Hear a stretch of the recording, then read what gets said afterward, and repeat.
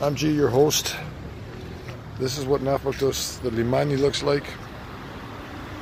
Limani is called obviously a port.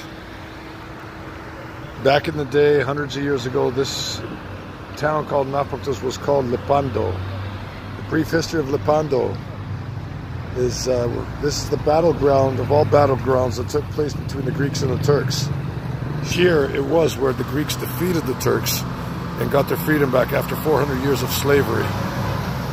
That's right. Hashtag get your Greek on. Well, I haven't gone that far yet, but the hashtag will exist. Or maybe it does exist. Up here is called the Platia, which means square. A lot of good eateries. There's flavors. It's got your varieties of uh, croissants, ice creams, sandwiches.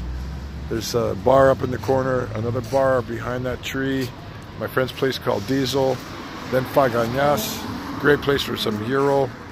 It's a beautiful place, Napoleon. You got to come. It's a must visit.